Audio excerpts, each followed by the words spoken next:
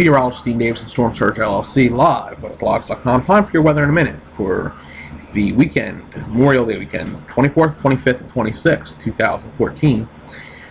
Uh, this will cover New Jersey, Pennsylvania, Delaware, Maryland, West Virginia, and North Carolina, including the cities of Philadelphia, Allentown, D.C., Baltimore, Roanoke, Lynchburg, and Greensboro. So we take a look at the map, and we're gonna have a pretty weekend after all the crap that happened, all the all the stuff that happened with this past weekend with the tornado in Delaware. It was an EF1 high end, closer to an EF2.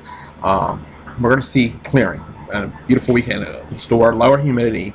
That's just what you need to have for a great uh, Memorial Day weekend and great uh, barbecue opportunities here. And uh, so when we take a look at the next five days, you can see brilliant sunshine in both locations uh, for uh, Roanoke Valley in Virginia and for the Delaware Valley.